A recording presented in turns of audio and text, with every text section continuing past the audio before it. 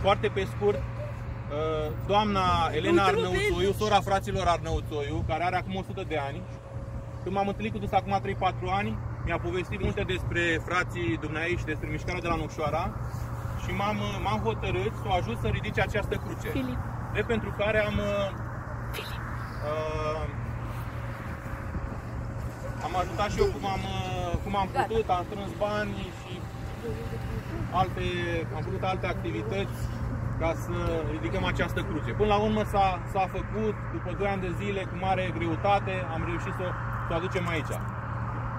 Acum 3 ani se întâmplă asta. Pe 16 aprilie 1900, 59. 2016. Ce vedem pe cruce? Foarte multe nume, sunt 130 ceva de nume, oameni care au suferit în Ușoara și împrejurimi, care au luptat uh, uh, pentru drepturile lor împotriva comunismului. Dintre aceștia foarte, foarte mulți pe care îi vedeți voi, au fost executați 16.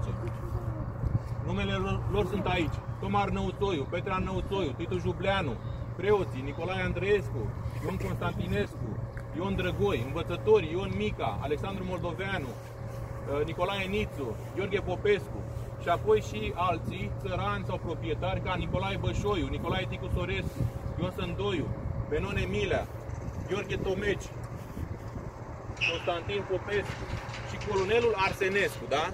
Pe care îl știți, uh, a fost primul conducător al mișcării, după care, plecând el la Câmpul Lung, a rămas Tomar Neutoiu. Da.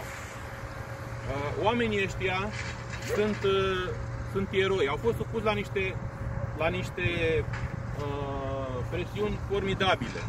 Acum, da, unii spun că uh, de fapt au fost bandiți, că au fost oameni răi, da? Că au, unii spun că au fost trădători.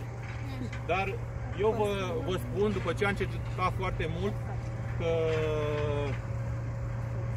cei mai mulți au fost eroi și sunt pe acest uh, monument, sunt puși cu bună credință și exact cum trebuie. Da. Acum, haideți să, să